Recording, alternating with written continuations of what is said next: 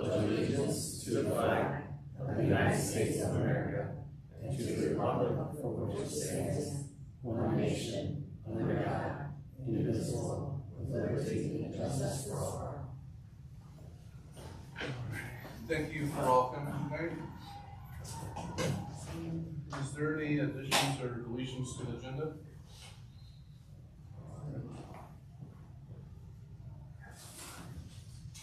We don't have any public comment on any agenda items.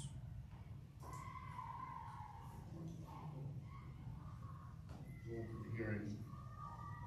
Open up the public hearing to receive comments of the community members regarding the teachers' benefits as a public hearing for the teachers' bargaining. Certainly. Um, so this is a requirement, um, by HERB for the start of bargaining. We had, uh, two reopeners in our two-year contract that would extend through the end of twenty twenty-three. Uh, the first one is our increase in students. If we had an increase in students over last September to this September of seventy-five students or more, then we would come to the table to discuss salaries. Um, right now, it's not looking like seventy-five students, um, more like twenty-five to thirty right now that we're increasing. But our other reopening statement in there that we had, uh, that would bring us both to, back to the table would be our health insurance, if we had an increase in health insurance rates. Uh, within our contract, our current contract right now, we have a defined contribution for our, um, what the corporation will pay towards those plans. Our increase in calendar year twenty twenty-two, because those insurance rates are on calendar years, uh, was a three percent overall increase. And in twenty twenty-three, I'm happy, very happy, uh, to announce that it's looking like a two percent increase. Although it's still a two percent, but two percent is much better than what I'm hearing from other school districts. Uh, eight percent is like an average, fourteen percent is not unusual. So our two percent is great within our, um, our own insurance, and again, uh, we joined the trust, uh, two years ago, three years ago, uh, and it's paying off obviously with our rates here. So the defined contributions that we have in here that the corporation will pay towards, uh, the plan are right now single plans, uh, the district pays nine thousand seven hundred and fifty-nine dollars towards it. Employee plus child, the district pays sixteen thousand five hundred and thirty-seven dollars. Employee plus spouse, uh, we pay eighteen thousand three hundred and fifty-three dollars. Family plan, uh, the district pays twenty-two thousand six hundred and sixty-two dollars towards that. There are defined contributions in there as well for if we have two employees um, in the bargaining unit that are both employed within the district that are generous. So, um, with the increase that we have, uh, we met with parties, um, on Monday of last week, I think it was, and we, or this week, and that's just this week, right? So we met Monday this week, and we both decided that, uh, we would go through bargaining to discuss the contribution rate since there was an increase. So at this point, um, we're having our public hearing. And if anyone would like to speak on behalf of anything, uh, within the contract that deals with the opener, which is health insurance here, um, I will hand it over to you to open it up for comment. Okay, anybody have any comments? Any questions? Or any questions Yeah, or or any comments or questions. anything?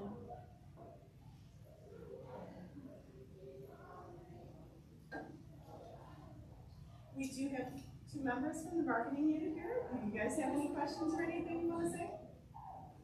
So Michelle Klein and we also have Mary Stinnett here. I would, thank you though for asking. Okay.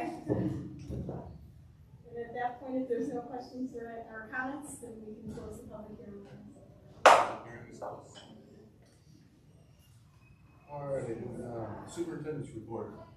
So yesterday was the e-learning day in the district and our, while the kids were learning at home with great enthusiasm, our staff, our staff was engaged in learning about our new protocols of the three outs, get out, take out, and uh, lockout. And I see that we have an audience member here who is part of the safety team. So is And Jason, so don't let him off the hook. So Jason and Michelle, and Stacy, our safety coordinator, indicated that either one of you may be interested to report how things went yesterday. Let you go first. We're, we both did different groups, so I guess you both can say something. Sure, so I did the middle school and high school. Um, we had about hundred and forty-six people sign in for the training, so quite a good attendance. Estimated a little lower, so that was good that we had more people turn out and come. Um, but yeah, we spent two hours doing the, uh, PowerPoint presentation, and, um, folks spoke for lunch. Then we did skills and, um, scenarios after that, and we had a lot of thank yous, and this was really informative and um, just teaching people skills that they could use here at school, but anywhere else they are in the case of an emergency. The PowerPoint presentation Michelle's referring to was a review of case studies of active and shooter situations in, in the United States and identifying common themes and what we've learned from those studies, and so our, our, all of our staff were educated on that. And then Jason? Yeah, I was with the elementaries. Um, it was, like Michelle said, everybody's very receptive to it.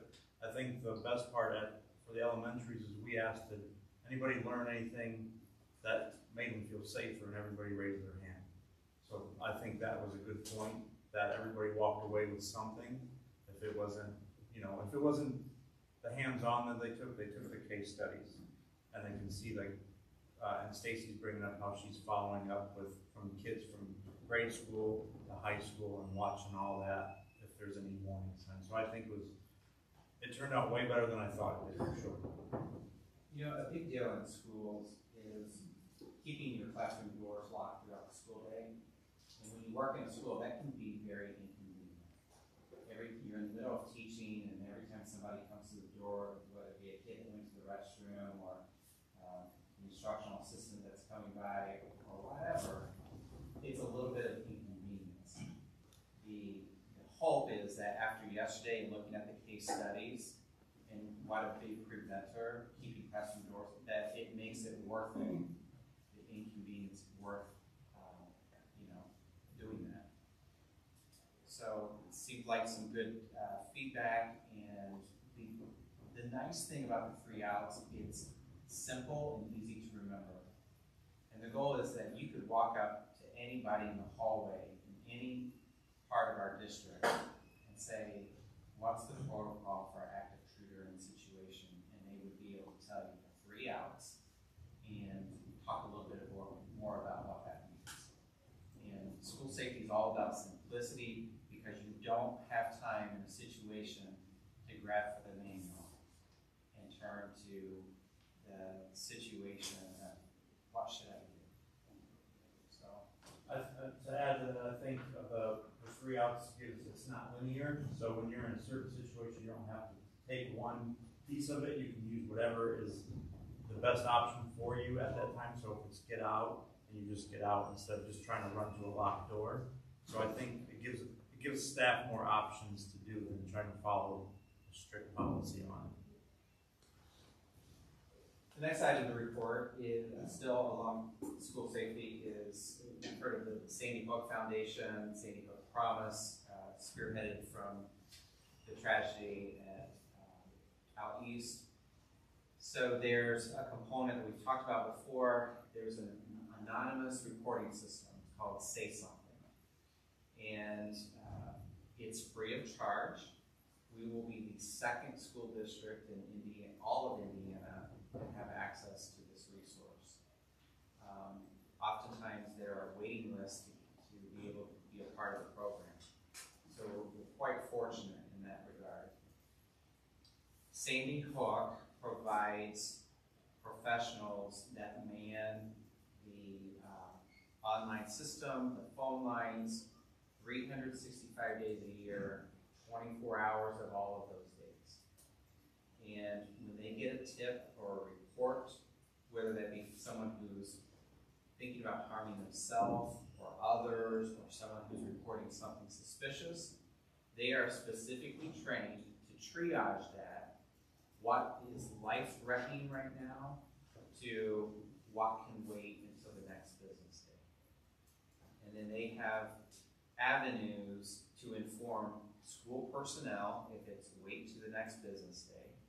If it's life-threatening, they call the local nine-one-one dispatch.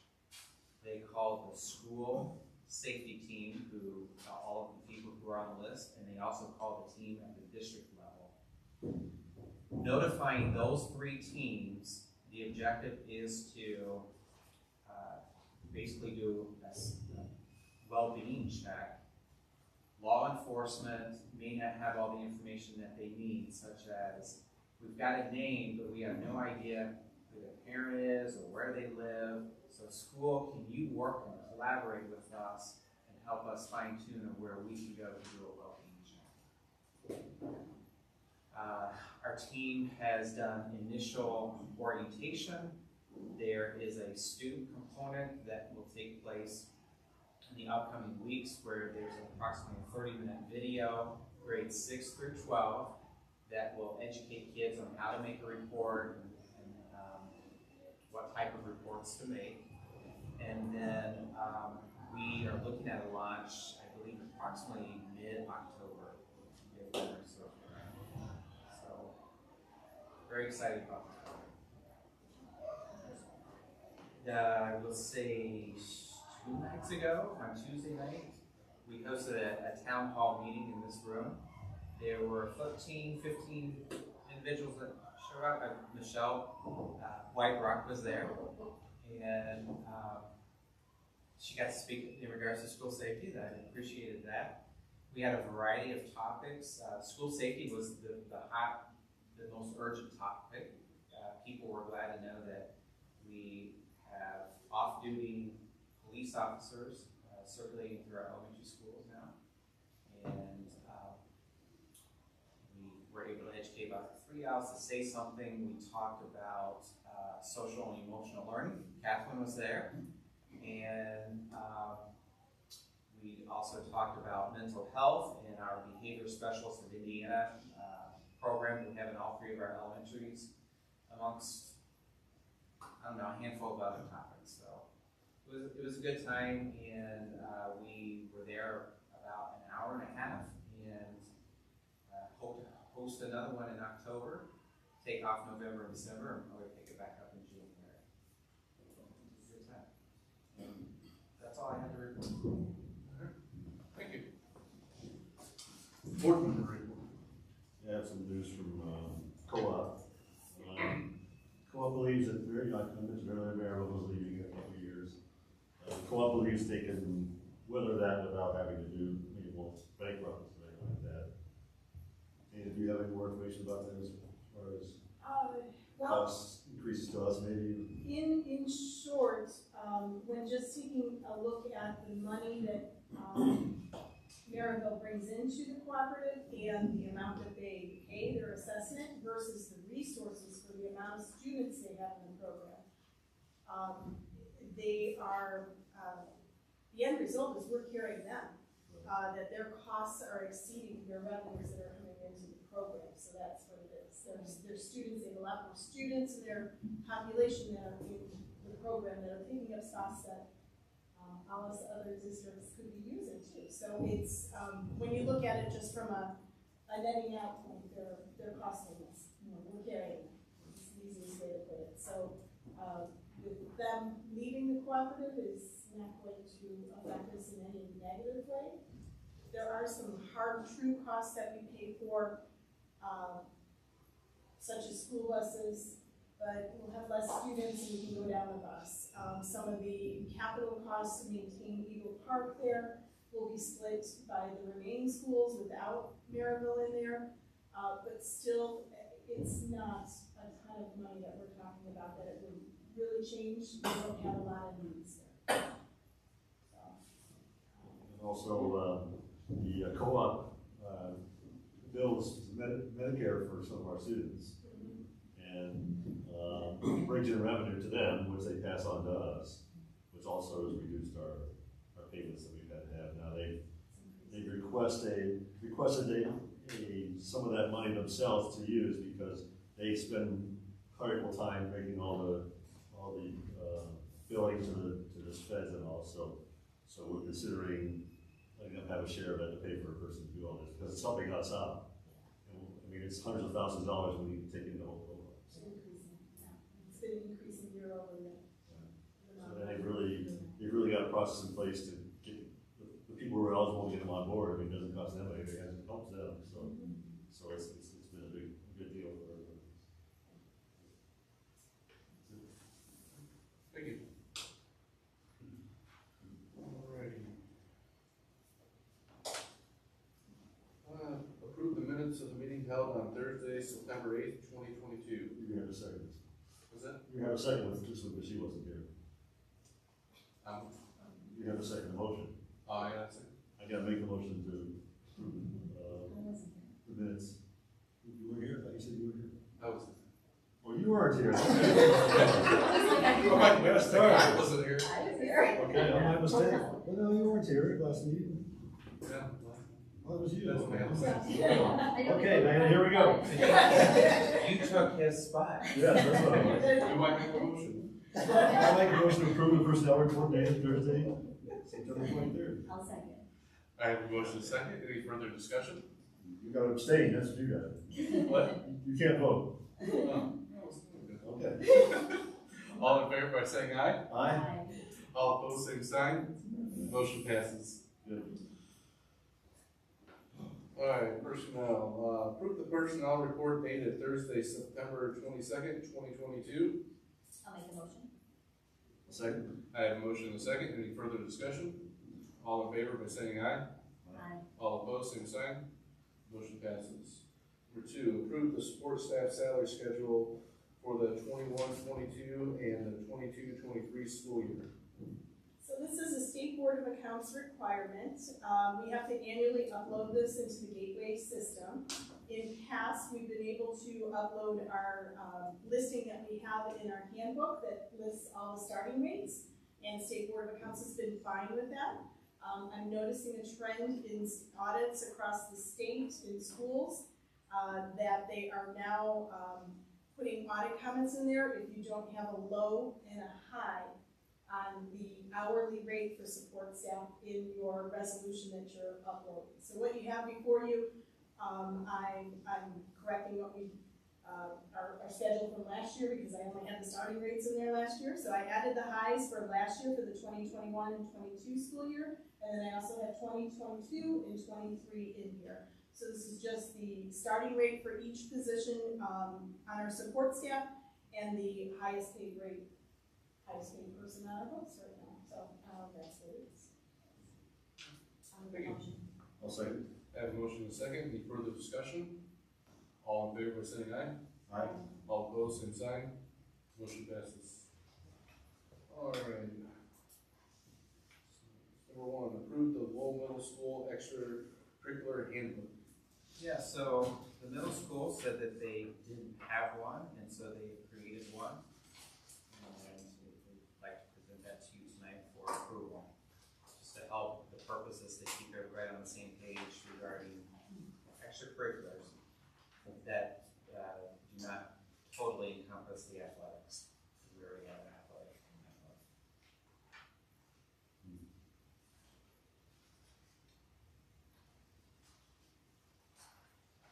So the practices are already in play, they just created a formal document. Good idea.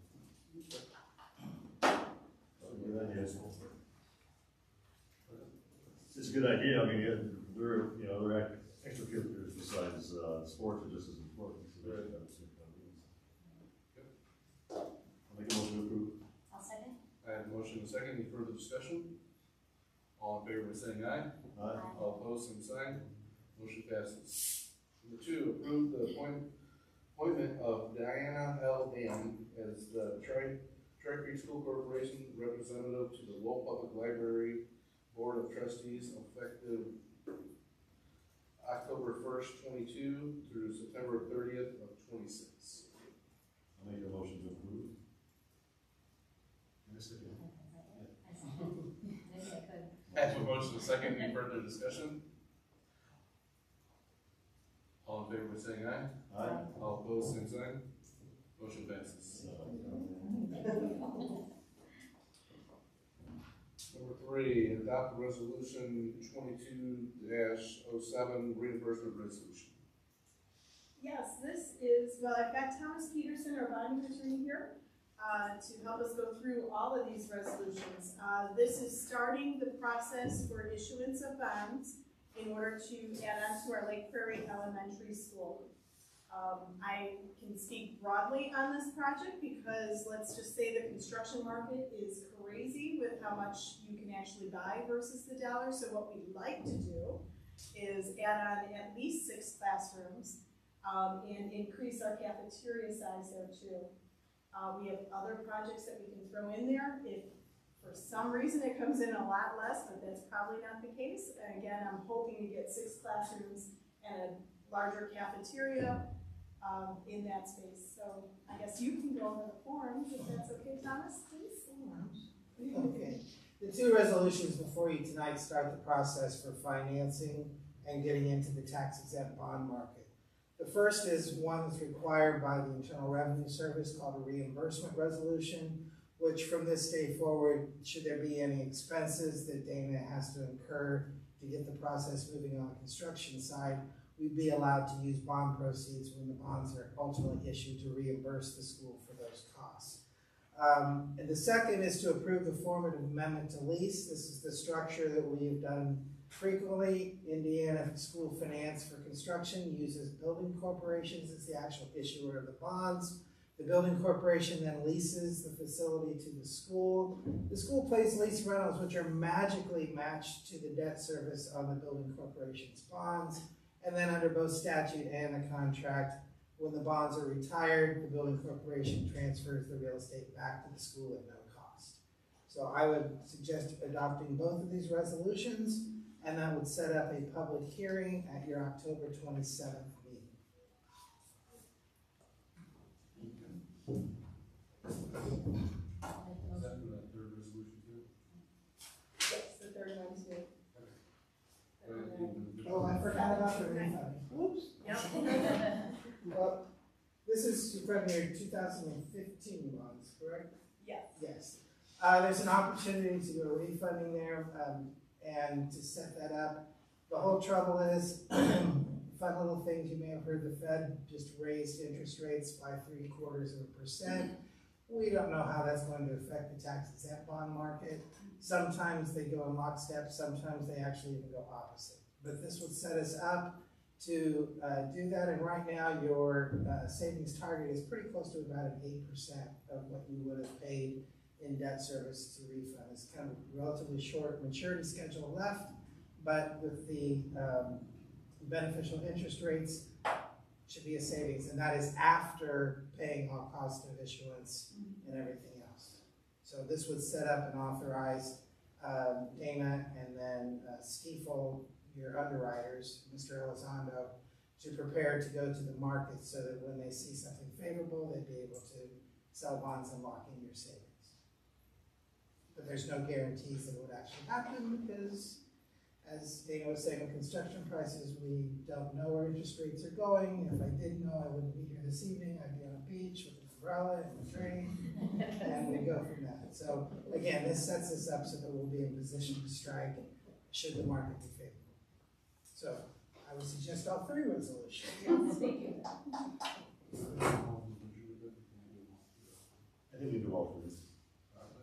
Make all three. I'll make a motion to, uh, adopt resolutions twenty-two oh seven, twenty-two oh eight, and twenty-two oh nine. I'll second. I have a motion and a second. Any further discussion? All in favor, by saying aye. Aye. All opposed, same sign. Motion passes. I'll see you on the twenty-seventh. All right, all right, Thomas, thanks. Thank a lot. you. Number six, approve the proposal for the initiation of the Lowell High School Red Devils Page Turners Club. Who proposes will be to promote a love for reading and writing among students at the Lowell High School. Club sponsors are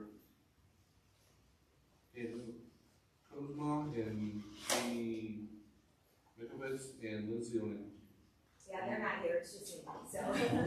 Um, can I come up there? Is that okay? Oh, yeah. Just get closer.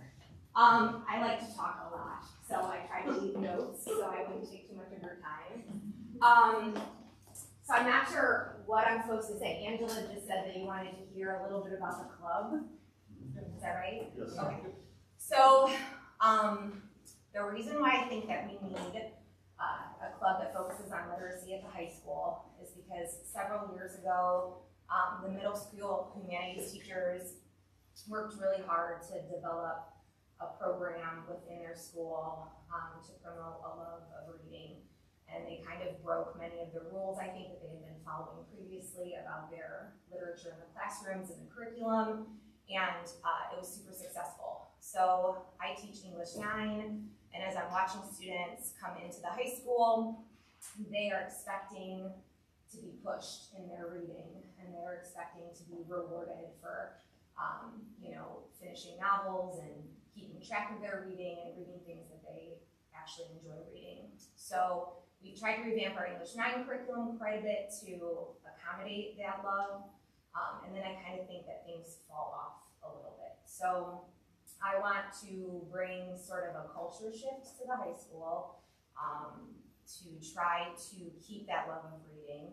And as the kids, like I had a student this year, a ninth grader, come in and on the first day, he's like, Mrs. O'Neill, not only did I read your summer reading packet, but I also read The Odyssey this summer, and I read Frankenstein, and I read a six book series that started from a video game. Um, and so they, they've really established this culture and love for reading, and I want to keep that going.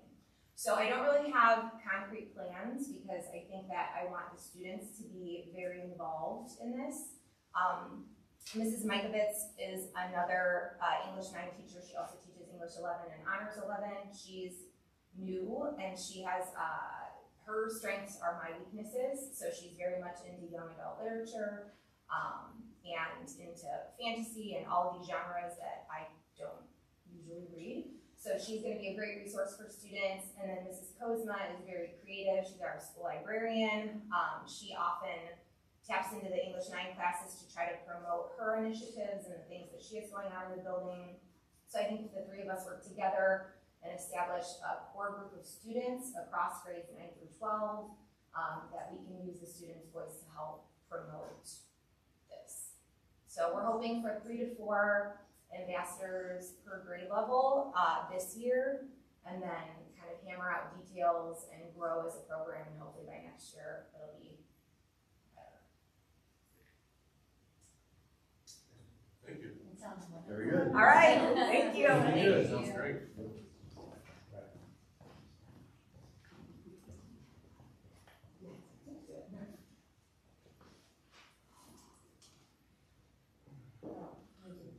I'll make a motion. I'll second the motion. I have a motion and a second, any further discussion? All in favor? I, All opposed, same sign. Motion passes. Alright, number one, uh, approve the partnership with Transform, Transform Consulting Group to lead our work to secure high quality pre-kinder, pre-kindergarten program at, uh, Rock Creek. So board members, you had uh, two ladies from Transform Consulting Group uh, present to you about a month ago. In that time, we asked them to put together a written proposal, which we shared in your board docs a couple of weeks ago for review. Um, That outlined the two phases that were really the crux of their presentation. Just to review that, the first phase is their facility uh, study, I'm sorry, feasibility study and implementation plan. That's really the learning phase. So as they map that out, it really would begin as soon as we have board approval and then move into about January, early February the latest, and that's where we have community listening posts, surveys, and just a major needs assessment of like, what does our community want? Where are their gaps in trying to fill those needs? And how can we roll out a plan that would start to fill those with the best quality pre-kindergarten seats that we can, that we can do? So through that, they would be the leads, and obviously they spoke to having a point of contact in the district that would then be bouncing back and forth what they're gleaning from our community. So truly identifying how many classes do we need, um, how many seats are desired, that kind of thing. So there are a lot of unknowns out there. What we do know is that there are limited pre-K seats in our community right now, as a number of our pre-K programs no longer exist and began going under either right before the pandemic or throughout it. So that is something that we've heard very real uh, in the facility study plans that we've had throughout last year.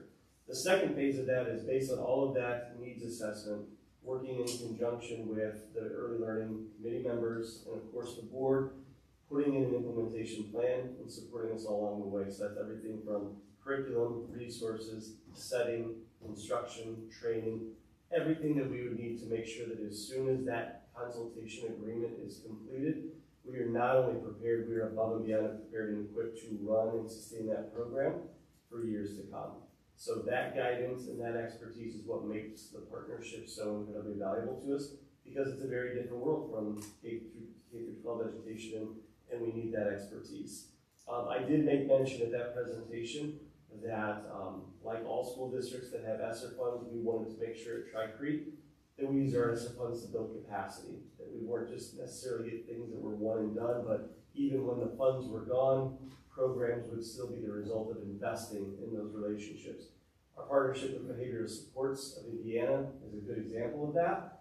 This would absolutely follow in line with that. Um, I did reach out to the Department of Education for an initial review and feedback to see and confirm that this would be an ESSER allowable fund, and upon first review, they said yes. So upon board review, I can formally click the submit button on that for a second review, and then we would hopefully get that approval relatively quickly and be able to begin the partnership here in the fall.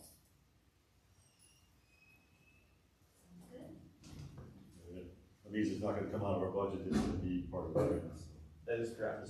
And that would, yeah, and that would include both phase one and phase two out of those ESSER funds, which again, I, just like to validate that that's a great way to say that we invested in those in something that could be a program that can last generations here at the school corporation. I like the fact that they had the alternative uh, revenue sources laid out for us. Yes, a lot of knowledge and expertise there for us. Do I have a motion? I'll make the motion. Second. I have a motion and a second, any further discussion? All in favor by saying aye? Aye. All opposed, same sign, motion passes. Um, to approve the school improvement plans for the 22-23 school year. Yes, tonight we, uh, present to you five schools improvement plans. Uh, I'll tag team with Kevin here. Uh, We, once the strategic plan was, uh, developed, we then looked and brought the instructional leadership team of all the principals, assistant principals together in July, and we reviewed student performance data. Looked at our strategic plan, the academic goal specifically, and we framed out uh, specific academic district level goals. And then Kevin and I sat down with each uh, principal to talk about their specific uh, goals for their particular buildings to ensure that we had alignment with the district goals. And um, once we kind of framed that out, then the principals, assistant principals, then went back to their buildings and um, worked with their school improvement teams, typically their uh, team leaders, assistant team leaders, and then they worked through those processes to ensure that building goals aligned with district goals, and district goals aligned with strategic plan goals. Anything else to add? I just think that, um, we've shared like typical data points that are kind of like universal, that like at the district level, you would say we want to achieve this, and then each of those buildings or grade levels has a role in that. So in the academic goals, you would see iLearn absolutely show up in there, um, you would see NWEA, which is the formative piece that we use grades K through eight, and then you would see, uh, SAT, which is now the graduating qualifying exam for our juniors at the high school level. So you're seeing major assessments that are going to like kind of build upon each other, beginning as young as third grade, and then heading all the way up into the eleventh grade year, is what really informed those, uh, building level academic goals. I think, um, to Mr. Anderson's point, the nice thing is you have an umbrella of a strategic plan that ensures each school is seeing what can I do to do my part to meet that overarching district goal in each of those areas. Because certain schools have extremely high math scores, so they may be focusing their SIP on an ELA goal, while another school might be inverse to that. So it makes it specific to their building instead of just a one size fits all. So our recommendation would be for you to approve, uh, presented school improvement plans. I'll make the motion. I'll second. I have a motion and a second, any further discussion? All in favor of saying aye? All opposed, same sign. Motion passes. Board policy, number one, review and discuss the board policy thirty-six one five, adjunct teachers. Yeah, so we're still floating this out there. It is on the agenda for the October discussion meeting with the teachers union. At our last meeting, Mr. Ward, uh, who was present, and Mr. Kyle wasn't, uh, asked the question, are there board policies out there that we could take a look at, uh, the schools who actually hired adjunct teachers? Uh, Dana did, uh, uh, solicitation on, online and really didn't have any, uh, hits on that, but Kevin went to the A, uh, the, uh, School Curriculum Development Conference in Indianapolis on Monday and ran into some people who have hired, did you say four? It was, uh, four people at their school, yeah. Four adjunct teachers, and so, um, Deanne reached out to that school district today and was able to get her hands on a copy of their policy that we compare to what we have. Steuben County, is that Warsaw? Angola. In gold, uh, okay. Yeah. So no action required, it's still just for information only. Um, Until we, uh, proceed, talk to the teachers union, and then, um, we'll come back and at some point, board will take action, or we'll take it off the agenda. So this has gone through the union process, Kevin? This has gone through the union process with the school? At Angola, yes, it went through it, they had a, a very lengthy discussion, she said it was a pretty long, because it's a, you know, it's a, it's a tough topic, it's a tough topic, but she said that they were in the situation where if they didn't have it, they wouldn't have filled, I think she said four positions at the time of the meeting. Thank you. Number two, approve the, revisions to board policy sixteen fourteen, staff and student non-fraternization. So we've made some revisions, and then we had some revisions to the revisions, and we let it marinate, and, um, it's time to, uh, present our recommendation to approve the revisions. I'll make the motion. I'll second that. Four month process. I have a motion, Is it second, any further discussion? All in favor, saying aye? Aye. All opposed, same sign. Motion passes. Consent items, uh, number one, approve the overnight stu- study trip for the Lowell High School Future Farmers of America to attend the twenty-two National FFA Convention and Expo in Indianapolis, Indiana, October twenty-sixth to 29th. It's cool, it's in Indianapolis, one. Yeah. I would just point out, uh, if I may, there's a pork chop dinner tomorrow night, uh, before the homecoming game, and, uh, profits from that will find their way. For that, many a time. Make a motion to approve. I'll second. I have a motion and a second, any further discussion? All in favor by saying aye? Aye. All opposed, same sign. Motion passes. Another, we're the only FFA in the county, so. Are we now? Yes. I enjoyed my years there. I've talked to lots of kids who enjoy it. Uh, It's a good thing, Number two, accept a donation from the Three Creeks Elementary School PTO in the amount of one hundred ninety-seven dollars and forty-five cents to assist students with bookstore items for the start of the year. Number three, accept a donation from the Three Creeks Elementary School PTO in the amount of four hundred eleven dollars and eighty-one cents to help fund the grade one stu- study trip. I'll make the motion. I'll second. Have a motion second, any further discussion? All in favor by saying aye? Aye. All opposed, same sign. Motion passes. Public participation number two. Mary? Yes. Do you want me to come on up there, or I can just talk right here?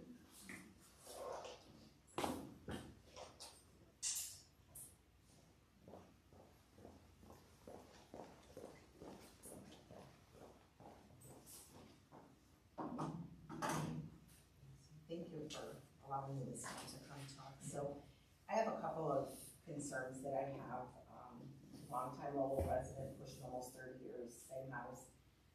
right next to Warner Fields.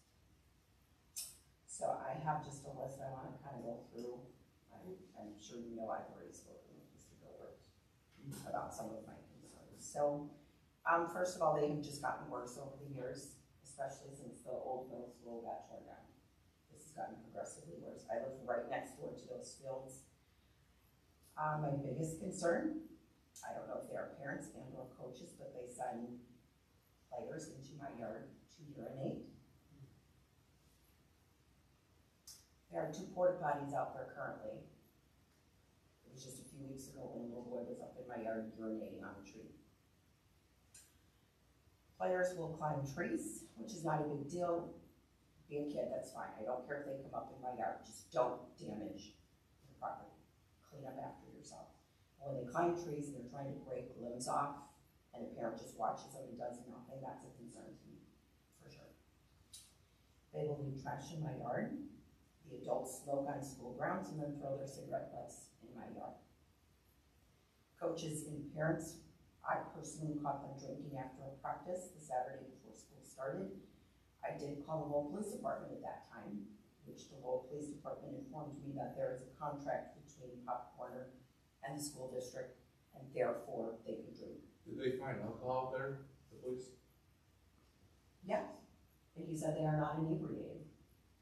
They were drinking. I walked away from them, back up into my yard, and watched the dads keep slamming the beer. There's no way they're allowed to drink on school property. What's that? So They're not allowed to drink that on school police property. officer told me, Well, he's wrong. oh, well, that's what I thought, but he said they have a contract between There's the nothing in the school. contract about That's not what I was. Well, I think you're wrong. But- We don't No, allow. no, no, no, no, no, that there was not alcohol there. Okay. Did you say there was not? That's what, that's what I was told. Who told you that? Uh, the Pop Warner president and vice president. Well, then I would like to have a conversation between me and you and those three or four coaches that Well, I'll, there. I'll speak to them. I asked for a conversation between me and you and them. Because then that means they're calling me a liar, and I am not a liar. I I have was no told that there reason was to call. try to get anyone in trouble. I just want Pop Warner to be respectful of where they practice and realize this is a residential neighborhood. Understand that? And for them to say that, I'm really disappointed. It leaves a bad taste in your mouth about Pop Warner.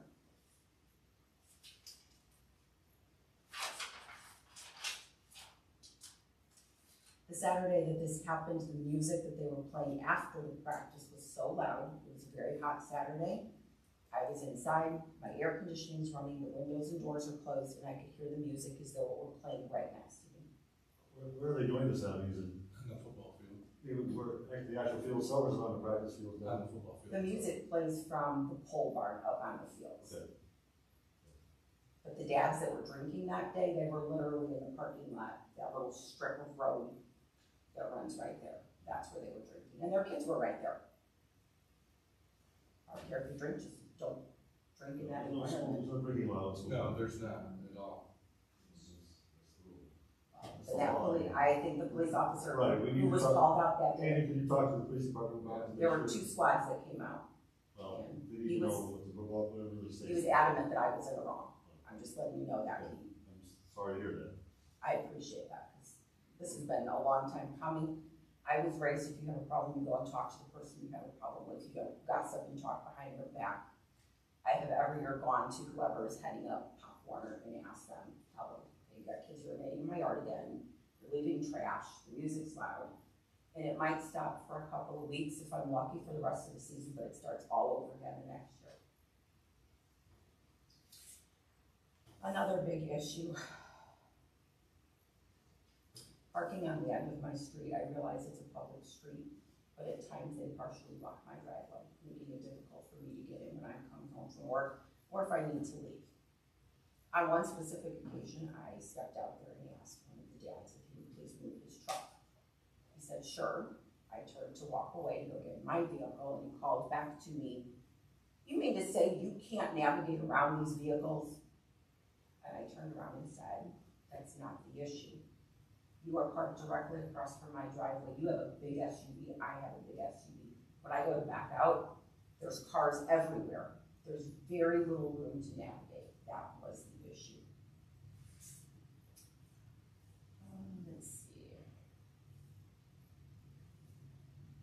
Parents will drive through my yard, of course, butts right up to the, the school's yard. They will cut across there, jump the curb, drive through that field right there, cut through part of my yard. They go around the barricade, which is the gate. Um, I would just ask that whoever has the power to, to please take some step, steps to rectify this. This is not a one-time incident, this has been building for years. It mostly impacts me because my yard is literally right there. Um, but I can tell you, my neighbors on the block also have the same concerns that I have, that I'm the one who's here talking for. My next really big concern, um, since the old middle school was torn down, those gates that were put up, they block our street, which of course now made it a dead end, which in and of itself is maybe not, you know, it's really not gonna be rolled, but I'm sure many of you in here are aware of what happened yesterday. And I was just at the town board meeting and was thinking the same thing. If there is ever an emergency, the emergency vehicles can't get through. That's exactly what happened yesterday. Um, if you don't know, my neighbor's home burned. They lost everything. She has her work clothes on and her vehicle. They lost her four pets. Thank goodness no, nobody was home, but everything is gone. Um, emergency vehicles, my understanding is they tried to get through, but of course, there were barricades up. So I was at the training, I left, I texted John and asked him if he could send somebody over to open the gate, and somebody did come right away. But at that point, all the emergency vehicles were coming down this way on the street. They didn't even know that there was a fire hydrant right next to her house. And they went halfway down the block to get the hoses hooked up. They lost a lot of time, but there were so many snafus that happened yesterday. I don't know that it would have changed the outcome, but I just, it's just frustrating, um, that even residents who live on that street have to go all the way around. And for sure, a safety issue, a few years back when the previous neighbor lived there, um, one of them needed an ambulance, and the ambulance had come around. I don't remember if that second gate was open or not, but they got down to the gate right by my house. And of course, it was locked, the ambulance had to go all the way back around. It just, it's heartbreaking. Like, um, And if you were in that situation, I'm sure you would feel the same way that I do. I have some solutions though, I didn't just come here with problems, I have some solutions. I would propose putting in an electric gate with a key card, given only to residents. Charge us a deposit, whatever amount, I'm not sure to propose that dollar amount, but so that we can get in and out of our street, those of us that actually live on that street. Um, And that key card, it could be deactivated at any time if there was an issue. Um, And emergency vehicles should also have those mounted in their vehicles so that if they need to get through, they can just use that key card to get through. Um, going back to the gate being down, if Pop Warner had been there, there's no way those emergency vehicles would have gotten on the street. They will park, so if here's the road, here's that gate, they are parked all the way down, well, sometimes halfway down the street, and sometimes even right smack in the middle, there will be three cars going across. And I don't think that's appropriate, it shouldn't, it just shouldn't be happening. Um, if an emergent, or if a town vehicle needed to get through, they might be able to get through. I just, I just wanted to bring those things to your attention because the Pop Warner issues have been a long time. come up with our order, at least, is it? You know, I know we do, but- does reference, um, abiding by school policies, I just looked at that as part of it. Right, I know, I know that, but, but I mean, usually we have to vote on it every so often. I think we did, I would have to look and see. when it was. I mean, surely there's a record of the officers that came out, I'm sure they have the names of them, I know one of them had a big white SUV, there was a, I believe, a red Jeep, Uh, You just didn't mean make that clear then. Yeah. Anyway, I'm not sure we're gonna be able to do anything about the street because it's not our, the parking on the street. yeah, I mean, we, we, we, Well, I did go to the town and they said it's a public street, and I'm like, well, this is also a safety issue, it's, But- it's with the town, unfortunately. well, and they said it's with the school. So I don't wanna get caught in between, Well, but I'll tell you what, that possible? part of our new guiding principles category is focus on solutions. And we want to be a good community neighbor partnership, so we can take a comprehensive look. I've taken notes of all of the items that you've reported on tonight. Thank you, I And we'll- appreciate that. And, um, someone from my office will circle back around to you and just update you on the efforts that we've taken. I would really appreciate that. To me, it seems like an easy fix, give us a key card, nobody else can get that, use that except the residents. But, um, I just wanted to make you guys aware of that, thank you for You have, time. you have a meeting with the representatives from the Pop Warner also. I didn't talk with, uh, I believe his last name is Gilbert, he's the one who's the head, the day that Correct. the little boy urinated in my yard that I day. don't know anymore, I used to. I don't know the guys anymore, I used to know them, I know. they're pretty, usually pretty receptive, you know. Correct.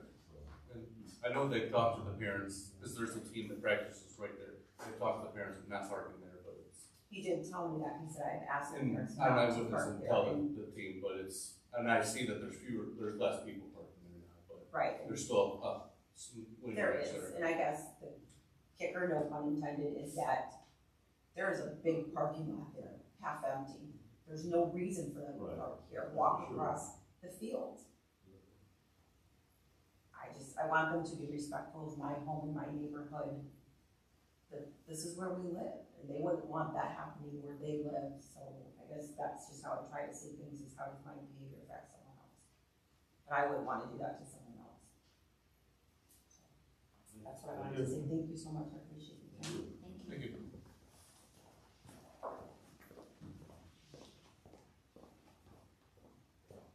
Information, uh, the board has scheduled a work session on Wednesday, September twenty-eighth, twenty twenty-two at six P M at the Lowell Middle School cafeteria to discuss facility planning. Two, the board has scheduled an executive session on Tuesday, October fourth, twenty-two at one P M at two oh one North Illinois Street, Indianapolis, Indiana, to train the school board members with an outside consultant with performance of the role of the members of public officials. And number three, the next uh, Tri-Creek School Board meeting will be October 13th. Anybody got any more questions? Comments?